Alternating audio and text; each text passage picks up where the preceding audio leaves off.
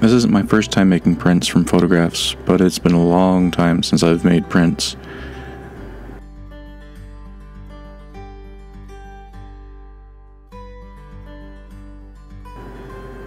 These I took to CVS and had them print out on an 8x10 sheet and then cut them out.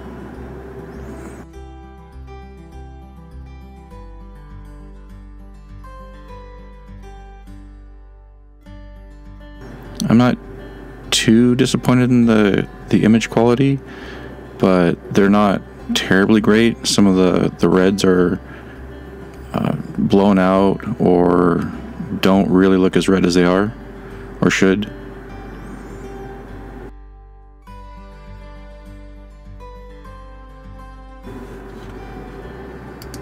I think my biggest challenges were choosing which images to print.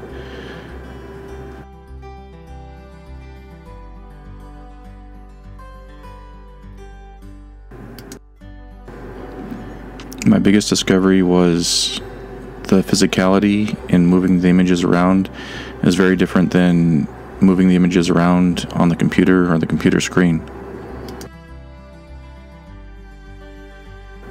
I think out of all the prints, my favorite has to be the the seagull sitting on the, the pier.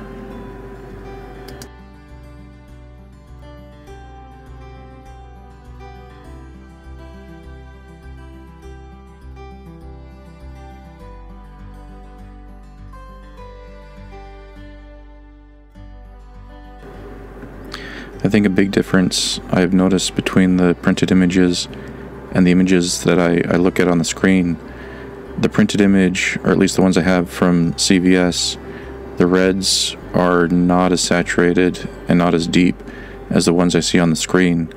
But I'm not sure if that's in the printing process or if the uh, the jump drive I took with me maybe didn't translate correctly. But I'd like to explore that some more.